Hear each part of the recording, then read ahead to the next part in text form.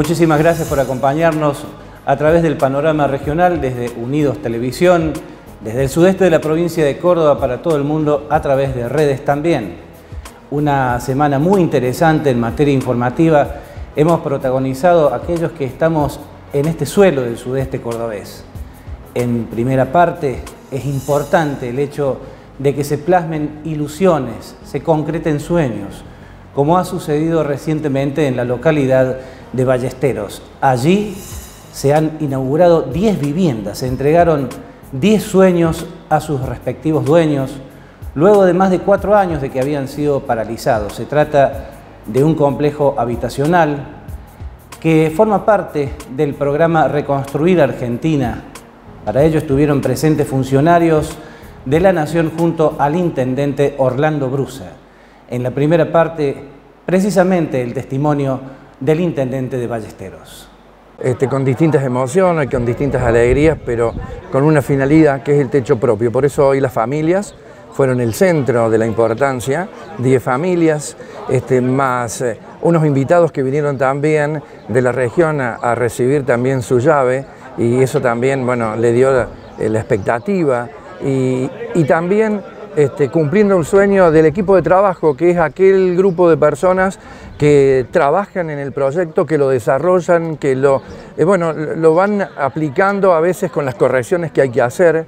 Y, todo eso cuando llega el momento eh, y, se hace realidad el cupo para poder tener la vivienda, bueno, ahí ya nos da alegría, pero más alegría es cuando hoy podemos palpar la casa propiamente hecha y con sus beneficiarios ingresando a ella con la alegría y eso bueno nos pone contentos. Así que y también a nosotros porque es el momento que lo disfrutamos, porque en las otras etapas transitamos con trabajo, con gestión, a veces que bueno, este, van teniendo, claro, van teniendo algunas este, situaciones esquivas, pero que realmente se hizo realidad. Y todo esto con una decisión, como le decía el ministro eh, Maggiotti, una decisión del gobierno de hacer efectivo, de hacer realidad el sueño de su casa propia. Bueno, agradecemos esto porque recuperamos un programa que estaba perdido con esto denominado Reconstruir y bueno, hoy las familias, 10 familias tienen la gran alegría de tener su techo propio. Detrás de ello hay un montón de familias en la localidad que esperan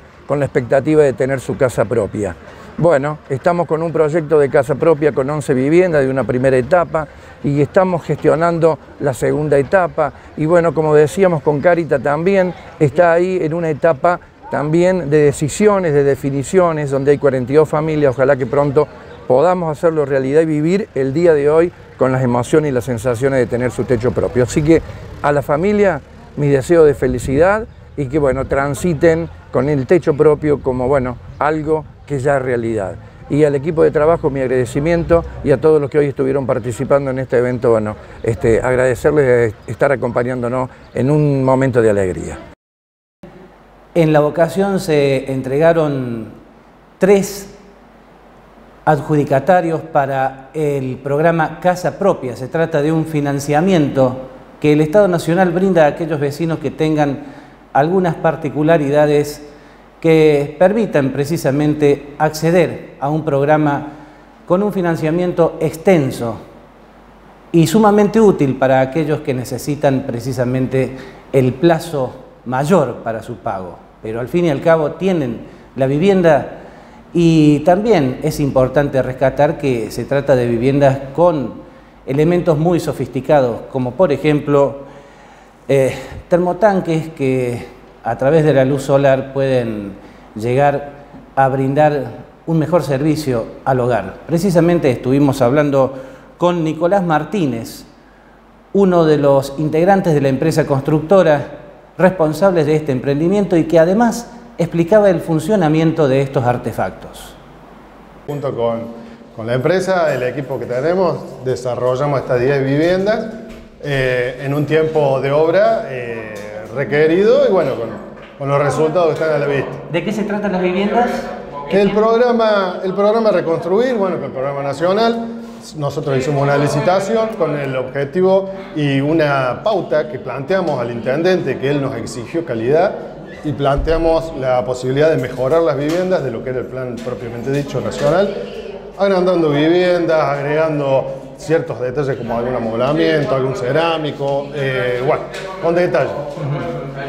Accedimos, licitamos, ejecutamos, plazo de obra que teníamos estipulado era 8 meses, la ejecutamos en 7 y bueno, ya está, está el resultado de la vivienda en este momento que se están entregando. Bueno, y a todos los adjudicatarios les estás explicando de qué se trata ese mecanismo. Claro, les estaba comentando, las viviendas están todas equipadas con eh, sistema de termotanque para, calentar el agua eh, solar. El termotanque tiene una controladora digital, que es este aparato. Eh, esta controladora es un sistema inteligente que permite que el agua indica la temperatura de agua, indica la cantidad de agua que tiene el tanque, el tanque tiene una capacidad de 200 litros, indica la cantidad de agua que tiene el tanque, está al 100%, 91 grados y hay que setear el horario, ¿no? ¿Por qué se setea el horario? Porque esto se puede programar para que cargue el agua en determinadas horas, entonces no enfríe el agua que hay caliente en el tanque. De todas formas se puede programar para que si hay varios días nublados, el, sistema tiene una resistencia en el tanque que calienta el agua, eleva la temperatura. De esa forma uno programa la temperatura que quiere el agua, la temperatura mínima, que en este caso no prendería, pero uno lo programa, está en 50 grados. La felicidad plasmada en uno de los adjudicatarios, Roger Suárez, justo el día en que recibía su vivienda en Ballesteros, también era papá y no podía estar precisamente la madre en la entrega de esta vivienda debido a que estaba hospitalizada. Pero la felicidad se transmitía a través del progenitor, también acompañado por una de sus hijas, y es importante rescatar en este sentido la cuestión solidaria que tiene este emprendimiento. Un sueño hecho realidad y bueno, dos grandes bendiciones el día de ayer, mi hijita Kiara y la casa ahora. ¿Cómo había empezado esto de buscar la casa propia? Y había empezado con comprar, comprarme un sitio y bueno, la idea era tratar de levantar algo en el fondo, eh, como si fuera un galpón, una pieza grande para meterlo ahí y de a poco empezar a hacer la casa. Pero bueno, gracias a Dios se nos dio la oportunidad esta y gracias al intendente Orlando se nos dio esta oportunidad de la casa y bueno, tenemos la casa, la casa propia un momento, además, como te decía al principio, ¿no? Único porque fuiste papá anoche. Fui papá anoche. ¿Cómo se llama? Eh, Kiara Valentina. Kiara Valentina nació ayer a la, tardecita. ¿Y tu señora, que le mandamos saludos? Mi, señora es Melissa Barrios. Bueno, imagino que ella contenta también desde su lugar. Sí, contenta y aparte eh, sola se tuvo que hacer cargo del, del, bebé porque yo todavía viajando, soy camionero. Recién llegué anoche de viaje, así que un beso grande para ella. Santiago Maggiotti es el responsable del área de hábitat y planificación territorial de la Nación.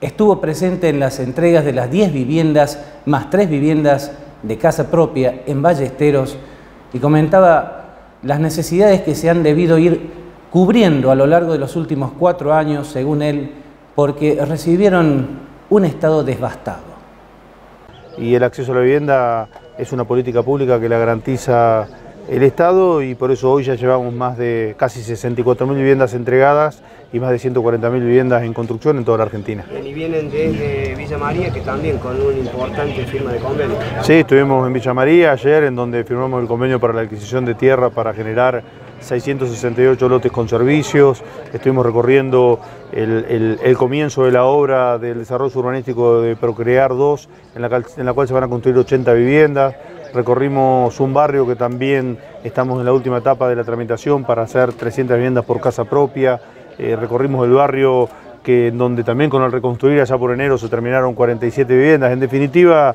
eh, recorriendo Córdoba, eh, en el día de ayer estuvimos en Villa María, hoy en Villanueva, ahora en Ballesteros y terminamos entregando 44 viviendas también del programa Reconstruir en, Leones. Nosotros estamos llevando adelante las licitaciones y la construcción de los desarrollos urbanísticos de Procrear 2, que son eh, los edificios en altura principalmente, y después en el resto del territorio tenemos los, diferentes programas, digo, tenemos el Casa Propia, Casa Activa, en donde hay dos por provincia, que son viviendas para la tercera edad, eh, tenemos el, Habitar Comunidad, que son, es un programa para comunidades para pueblos originarios y, comunidades rurales. Eh, llevamos adelante el reconstruir, el casa propia, bueno, los diferentes programas del Ministerio trabajando fuertemente y, ahora trabajando para todo lo que es el año que viene con los intendentes, con las provincias, en desarrollar ordenanzas y leyes que, que permitan planificar el territorio, porque nosotros creemos que a partir del 2024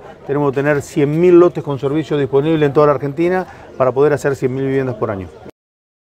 Uno de los responsables zonales de tanta tarea que se viene desarrollando en relación a obras y servicios públicos es el actual intendente de Villa María, Martín Gil, quien oportunamente fue funcionario precisamente del área de obras y servicios públicos. A través de él, varios intendentes hicieron gestiones años atrás para poder lograr planes habitacionales y muchos otros emprendimientos que los estados municipales no pueden financiar.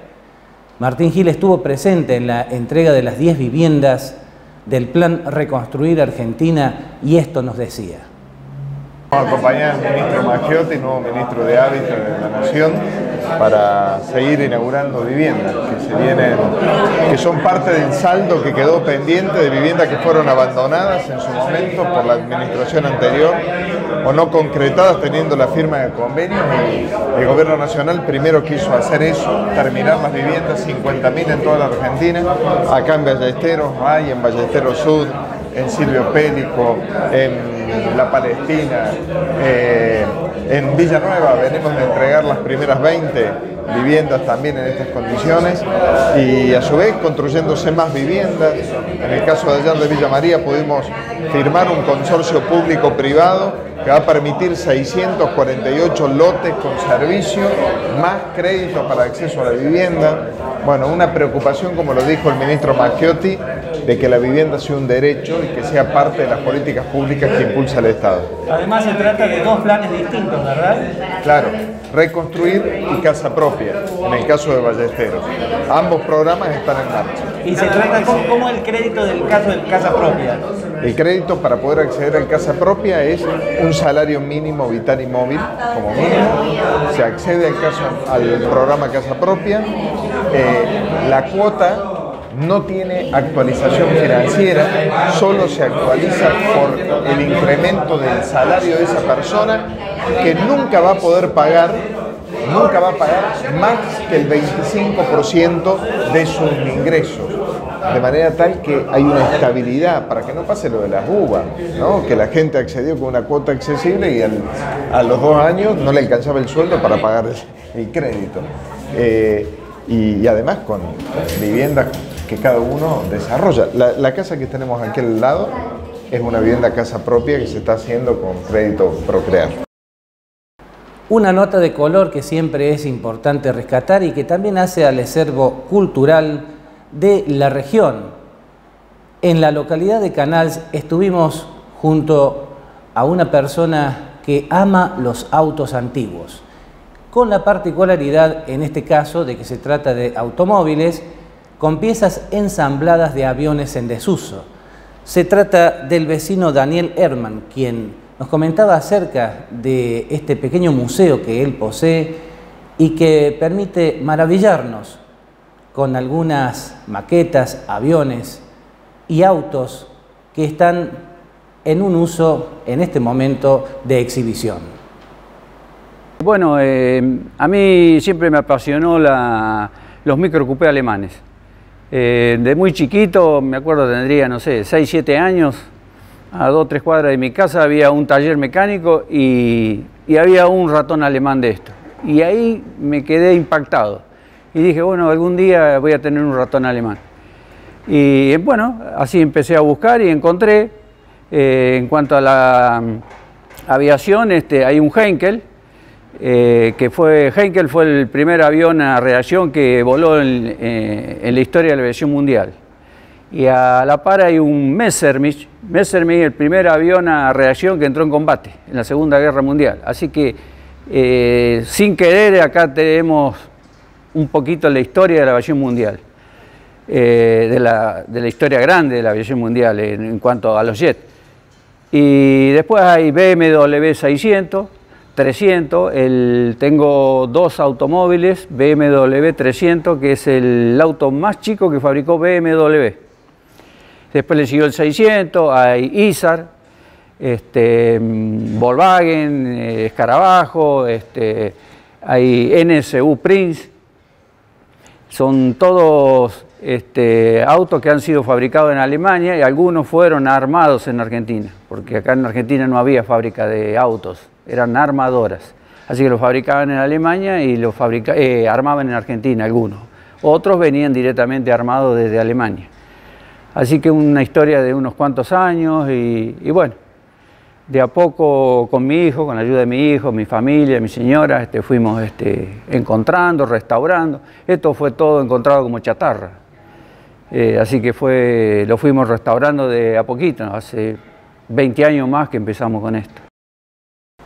Los invitamos, luego de la pausa, a seguir conociendo el sudeste cordobés.